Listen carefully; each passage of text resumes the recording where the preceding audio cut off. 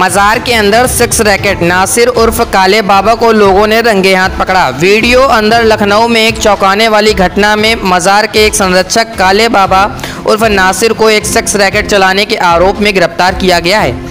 ठाकुरगंज इलाके के हुसैनाबाद में स्थित जामा मजार के केयर टेकर काले बाबा कथित तौर पर इलाज के नाम पर महिलाओं का यौन शोषण करता था और देह व्यापार का धंधा भी चलाता था। सोशल मीडिया पर नासिर उर्फ़ काले बाबा वीडियो शेयर किए जा रहे हैं, जिनमें मजार के अंदर बने कमरे में एक महिला और पुरुष को आपत्तिजनक हालत में देखा जा सकता है।